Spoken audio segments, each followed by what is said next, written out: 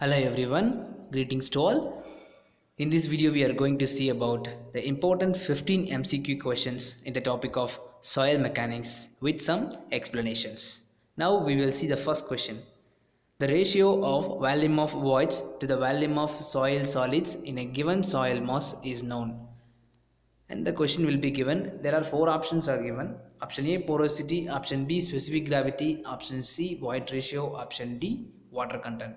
So they asked what is the ratio of volume of voids to the volume of soil solids. So the answer is option C that is void ratio. So E equal to volume of voids to the volume of soil solids. So the porosity is nothing but it is the volume of voids to the total volume. Specific gravity is nothing but it is ratio of density of solids to the density of water. Water content is nothing, nothing but it is the ratio of mass of water to mass of soil solids or weight of water to the weight of soil solids. So in this question the correct answer is the void ratio. So void ratio is nothing but the volume of voids to the volume of soil solids. So void ratio and porosity have no units and also specific gravity also have no units. Now, now we will move to the next question. The second pressure of a soil mass is proportional to where pi is the angle of the friction of the soil. So they will given the active earth pressure. Please remember active earth pressure.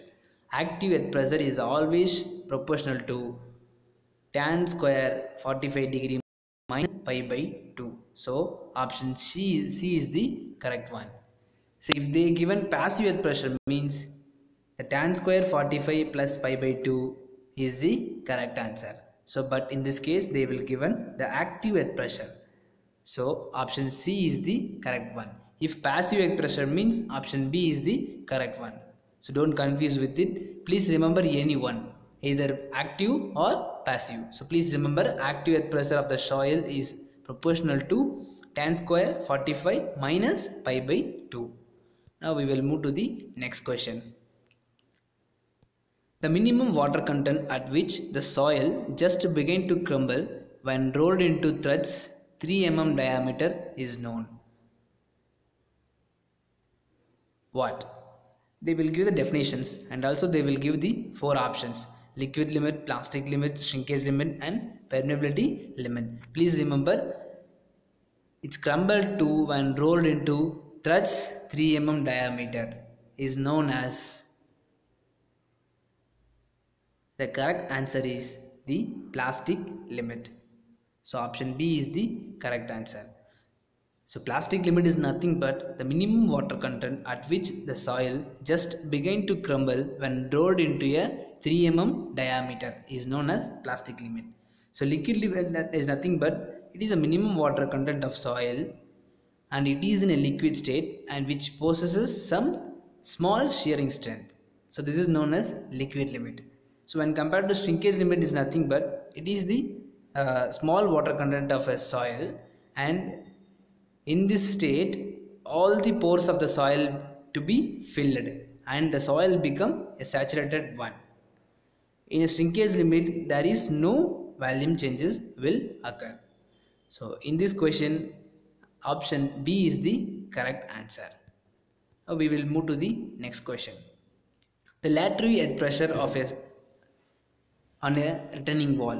They will given the lateral lateral earth pressure on a retaining wall. And also they will given the five options.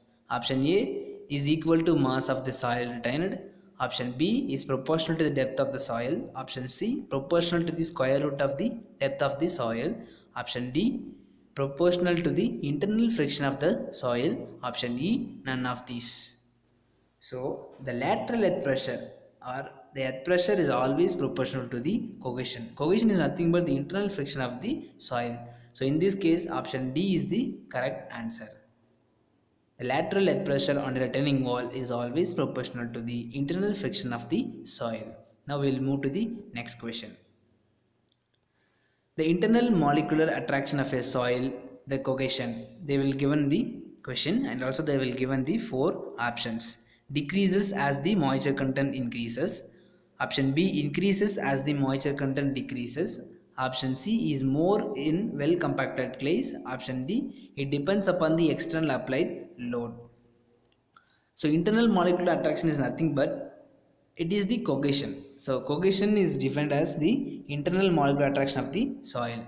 So when you take in the clay, the well compacted clay always have more cohesion that is more internal attraction of the soil.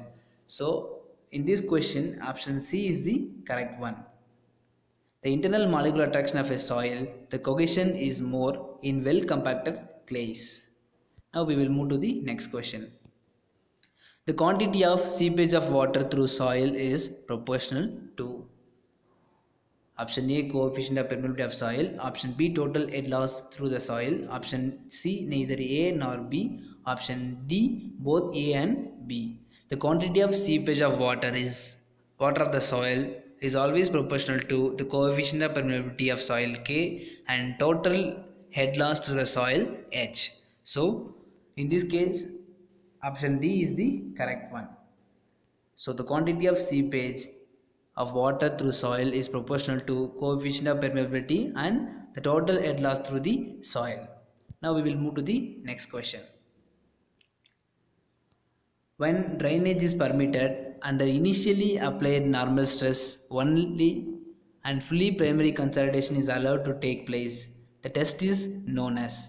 Please remember initially normal applied stress only and fully primarily consolidation is allowed to take place. So this test is known as consolidated undrained test. So option C is the correct one. So consolidated undrained test is nothing but when drainage is permitted under initially applied normal stress only and fully primary consolidation is allowed to take place. Now we will move to the next question. The minimum water content at which the soil retains its liquid state and also possesses a small shearing strength against flowing is known as. In previous year questions I also told about this. So in this case the answer is option A liquid limit. In liquid limit only they possesses some small shearing strength. Please remember Remember the keyword. In liquid limit only, they possesses a small shearing strength. So plastic limit in the sense, it crumbled to rolled into a 3 mm diameter. So shrinkage limit nothing but Eh, it filled the pores of the soil and the soil will become the saturated. So the minimum water content at which the soil retains its liquid state and also possesses a small shearing strength against flowing is known as a liquid limit. Now we will move to the next question. Minimum size of the particle of a silt soil. So minimum size of the filter, size of the particles of a silt soil is 0.002 millimeter. Please remember minimum size of the particle of a silt soil is 0.002 millimeter. Now we will move to the next question. The maximum value of effective stress in the past divided by the present value is defined as the over consolidation ratio OCR. The OCR of an consolidated clay is they ask what is the OCR of the over consolidated clay. So over consolidated clay having OCR always more than 1. So option C is the correct one. And also the OCR is nothing but the maximum value of effective stress in the past divided by the present value is defined as the over consolidation ratio. The over OCR is always more than 1 for over consolidated clay. Now we will move to the next question. If NF, NH, ND and H are the total flow channels total number of potential drops and total hydraulic head differences respectively. The discharge Q through the soil, the complete flow is given by where K is the constant and they will ask what is the discharge Q. So they will given the NF, ND, H and also they ask what is the discharge. So discharge Q is nothing but KH into NF divided by ND. So option C is the correct one. So where K is the coefficient, coefficient of permeability and H is the total hydraulic head, NF is the number of flow channels and nd is the total number of potential drop this is very important formula. Q equal to kh into nf divided by nd now we'll move to the next question.